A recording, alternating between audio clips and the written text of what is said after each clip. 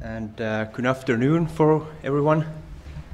So I will next present our study, uh, which has a uh, main purpose to test and compare metrics for perceptual color differences in uh, complex images such as uh, natural images.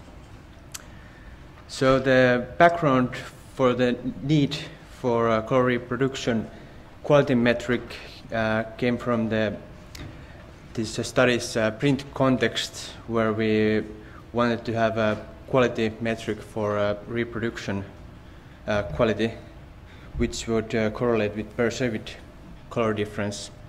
And of course this would be only a technical quality because the visual quality could not actually be achieved with uh, this kind of metrics.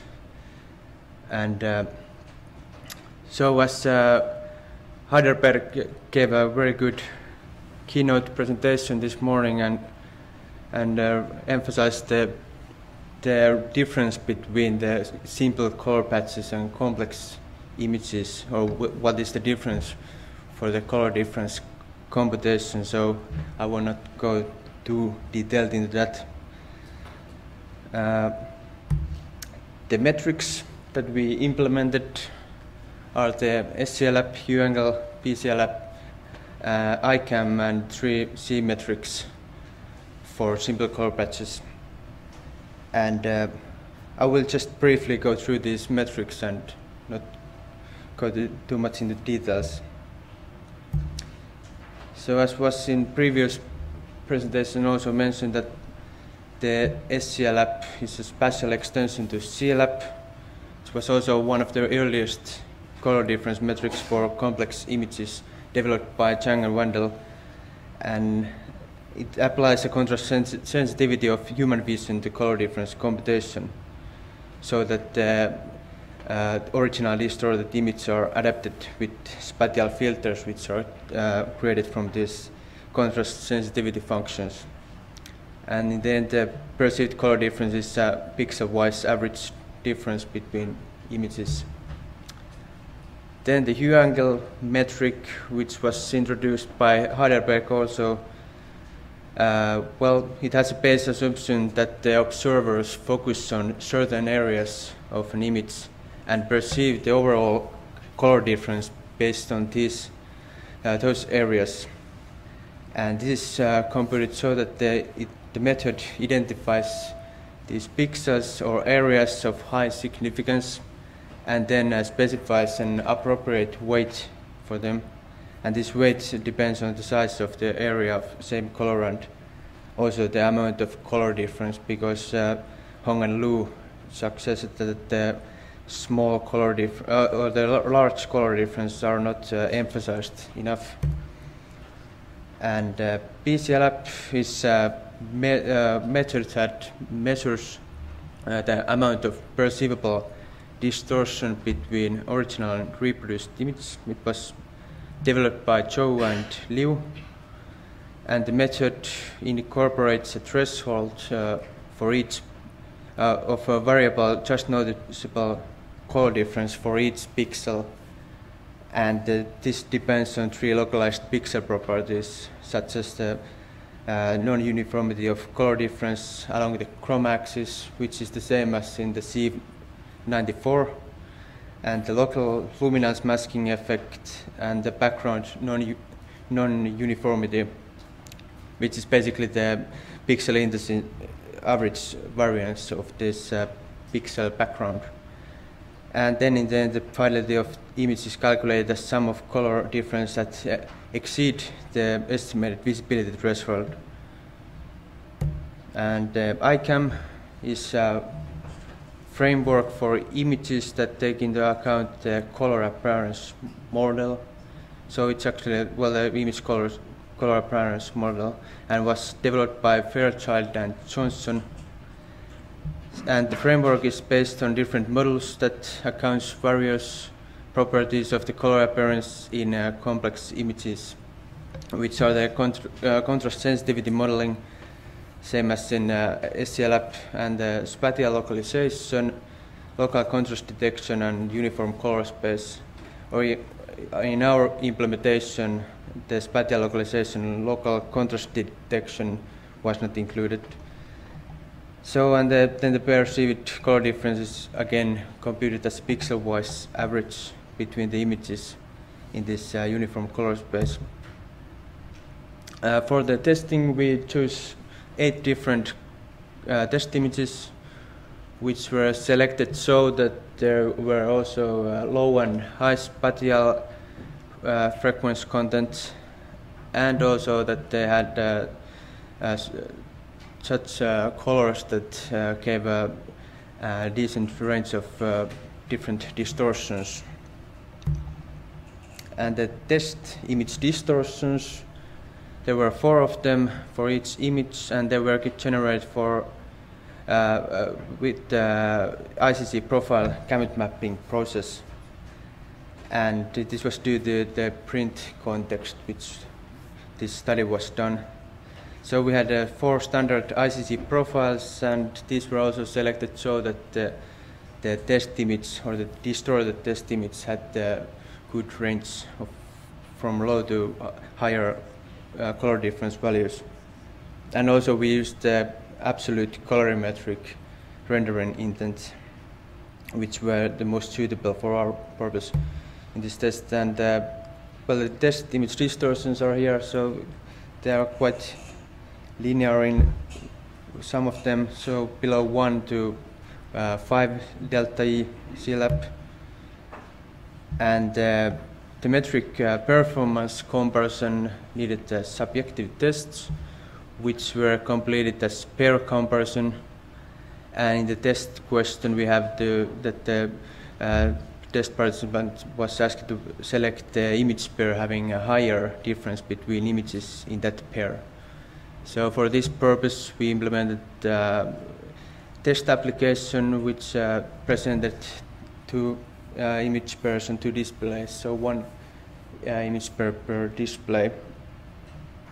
And these displays were uh, EIZO ColorEdge, quite high-end uh, displays, which were calibrated with the i1 and by using the displays sRGB emulation. So with this, the 98% of the sRGB uh, color space could be achieved.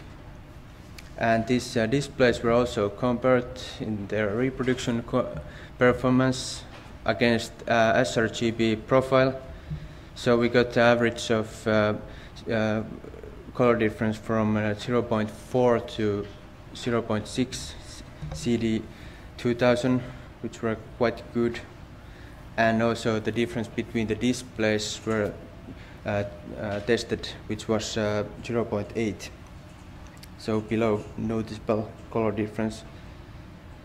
And uh, in the test, the viewing conditions were adjusted to correspond to sRGB viewing environment, meaning that the ambient illuminance level was set to 200 lux with color temperature of uh, 5000 kelvins. And the displays were also mounted to 50 centimeter viewing distance for the contrast sensitivity function um, purpose. And, uh, and also we have uh, 15 test participants, all with normal color vision and normal corrected visual acuity. Then the subjective test data, uh, these uh, comparison judgments were converted to subjective difference scale values but with method based on the regressions and uh, this means that uh, well the high average subjective scale values meant relative that uh, that relatively many test participants chose the same image pair to have the higher uh, perceived difference. And uh, also the low average subjective scale values meant that the deviation between judgments of test participants is high and or the image pair has low perceived difference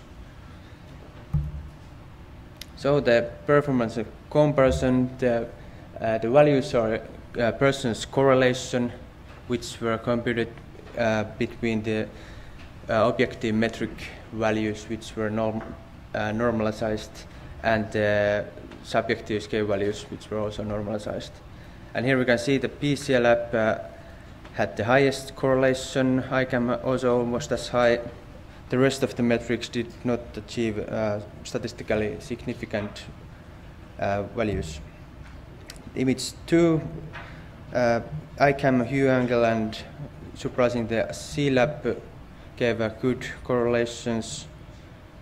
And uh, image 3, uh, hue angle and S-CIELAB were performing the best. And again, also this CIELAB got high correlation. Image 4 was uh, difficult for the metrics. None of them were statistically significant in correlation. Image 5, the ICAM was the best. Image 6, the hue angle S and uh, CIELAB, were the best. And you may know, now notice that uh, for each image content there was no one metric that were the best, and so that it varied all the time. And image 7, all of the metrics were performing well, while the image 8 was such that none of the metrics gave not the uh, good correlation values. And uh, also the image 1 and 8 were such that the test participant couldn't judge. So, so the, either the core difference were low, which was the case in the image 8, or that uh, they just couldn't judge between different color difference, which were higher. And here you can uh, again see that uh, none of the metrics were best in all of the image contents. In average, the ICAM was the best, but not that good. And uh, the hue angle, the second best, and uh, surprising, the CIELAB was uh, really high also. So, as a summary, the well, the test and metrics are not completely capable to predict the degree of perceived color difference. While two metrics came up still in the comparison, ICAM had the highest average correlation for all images, while if we excluded those images with high variation in comparison judgments, the hue angle was the highest performing per, uh, metric. And it is noteworthy that the high performance of CIELAB, which was also noticed in the previous presentation. So, okay, thank you.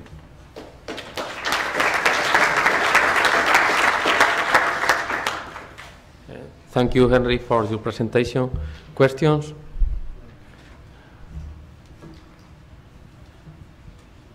Okay. Uh, what do you think uh, can be done in future work in this field? Well, there is uh, a lot of work to do in the, with the complex images. The, as uh, Hardeberg also noted, that there's the work has only begun, and so a lot of challenges there. Thank you. Thank you.